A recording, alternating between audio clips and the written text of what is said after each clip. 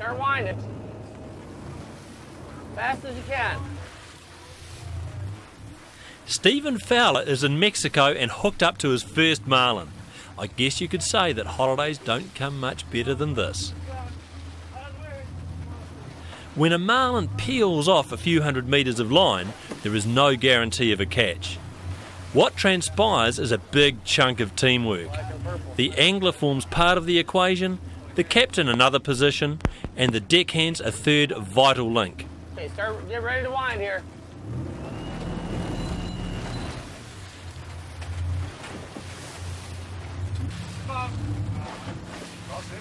No, he's there.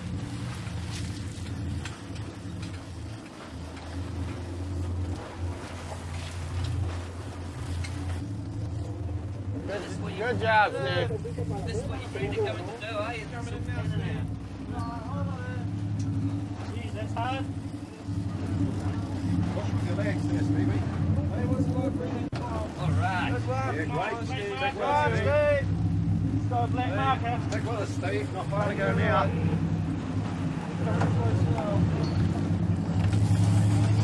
Quite clearly, this battle can be hard work for the angler, but add the broiling effect of a tropical Mexican sun, and the effect can be debilitating.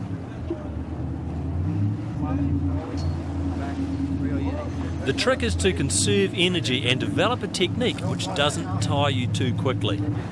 Battles in excess of 12 hours are not entirely uncommon, but in most situations where fish and tackle are well balanced, you can boat a fish in under an hour.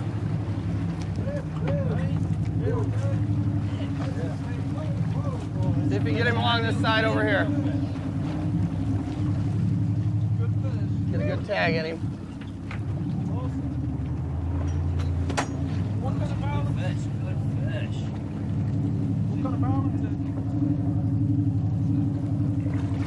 The little blue.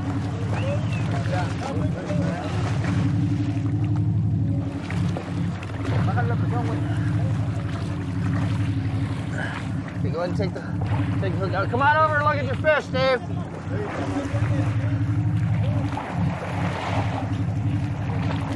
Oh,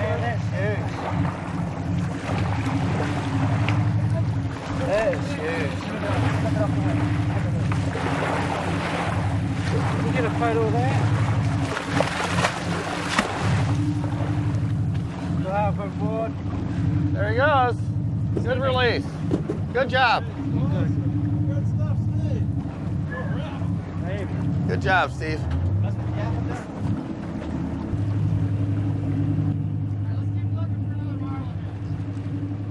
Murray Giles' turn in the chair. It was not a marlin.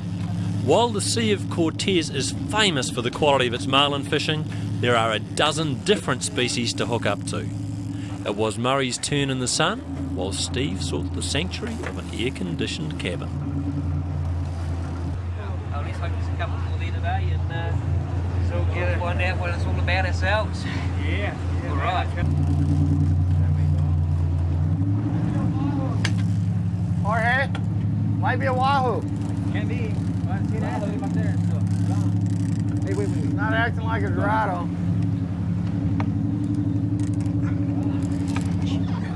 Uh, here, you gotta fill that out. Stick it, stick it in the mail in LA.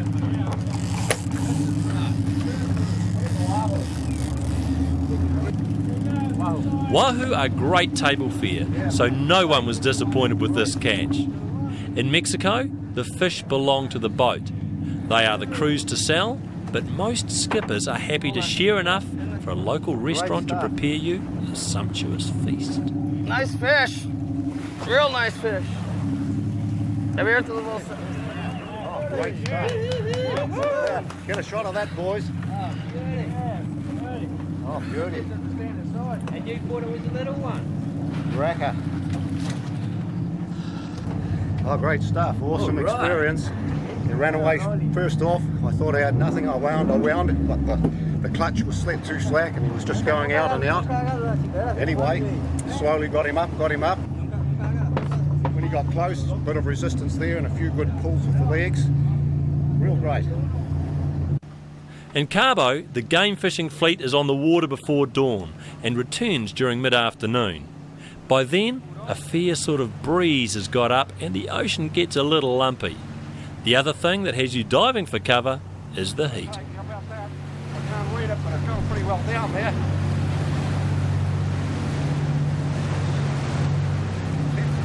50 pounds. Better lift it all the way out. There we go. All right, you get a good one of that, 50 pounds, boys. Bought him one mile out of Cabo on our way home. Great day's fishing. Cabo is described as a party town, and at night the place rocks. But it is the superb angling that drags people in from all over the world. The bay also attracts a large number of cruise ships that stop off to party, dive, fish, sail, jet bike, swim, shop, or gaze at the area's many attractions. As we sat by the pool waiting for a cruise ship to depart, our attention was drawn to a multitude of splashes out in the bay. What were they? Dolphins, you say? No. They are manta rays, revelling in the carefree atmosphere that punctuates another beautiful Mexican evening.